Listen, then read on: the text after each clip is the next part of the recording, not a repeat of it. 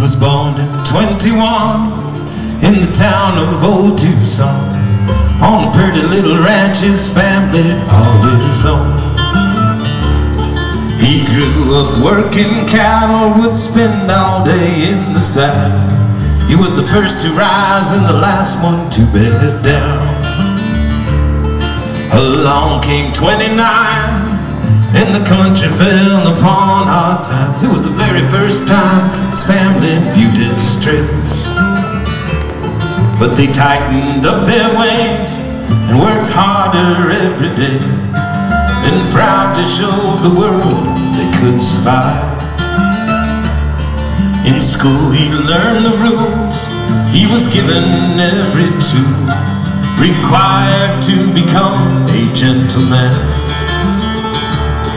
His parents were proud to see that he went to the university to learn about nature and good things.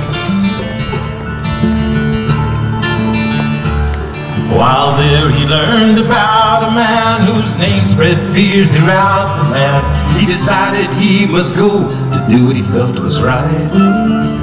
He volunteered to join the fight.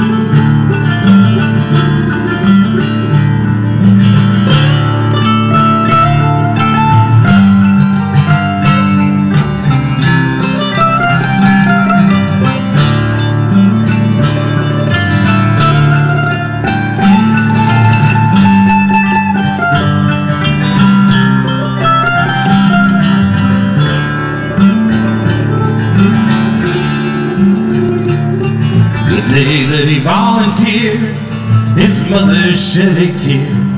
She was proud of him, but she also knew the risk. They trained him every day, and like a cowboy on the range, he grew in strength, courage, and purpose.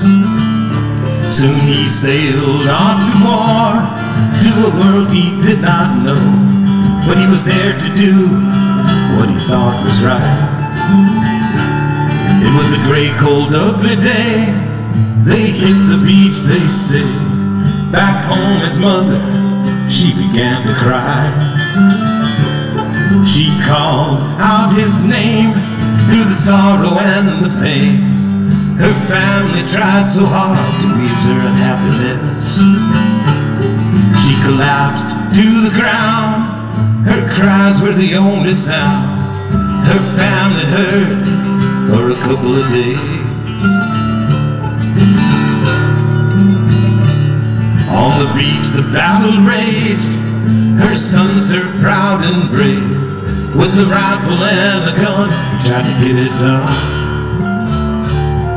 As he crawled along the sand, he felt God's loving hand.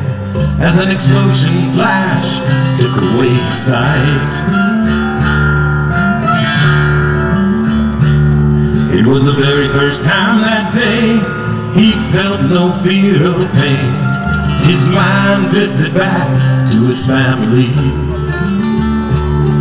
He slowly passed away on the battlefield that day. He left this world doing what he felt was right. He volunteered to join the fight.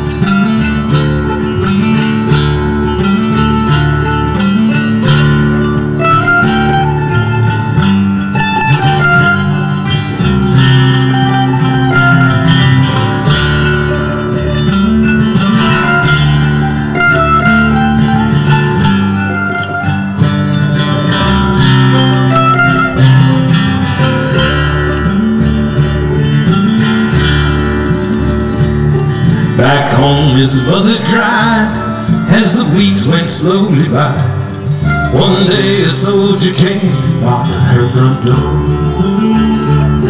He asked for her by name, she closed her eyes in pain. She thanked him and he slowly walked away.